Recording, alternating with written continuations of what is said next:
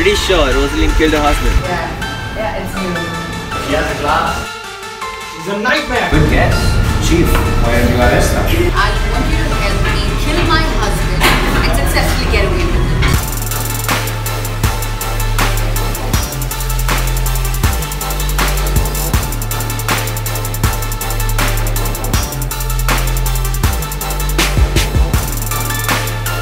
Hi guys, I'm Laura.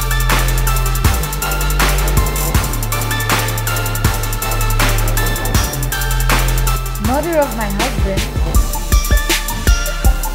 Good evening, gentlemen.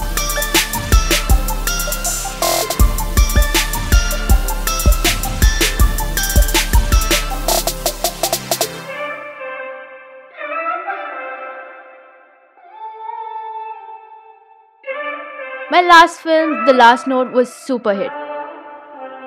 Oops. You spoil my plans. You have no proof. How dare you?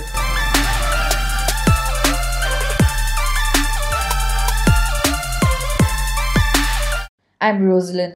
I don't need no handcuffs. I can walk on my own. What's happening to me? Sorry, darling.